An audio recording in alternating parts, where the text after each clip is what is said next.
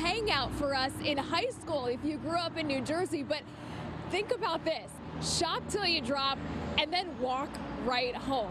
That is the plan that mall officials reportedly have for the Garden State Plaza. This is all detailed in a new report out on NorthJersey.com to take the mall, add in luxury residences, a green space, and make this into an entire downtown for Paramus.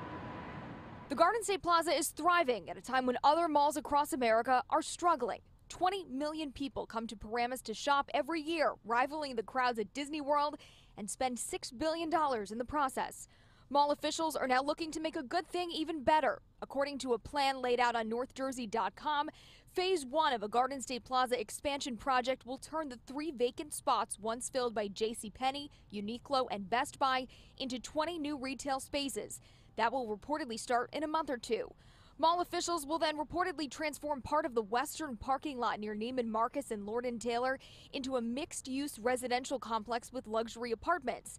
There are also plans for three acres of green space, a seasonal hockey rink, and possibly a high-end hotel.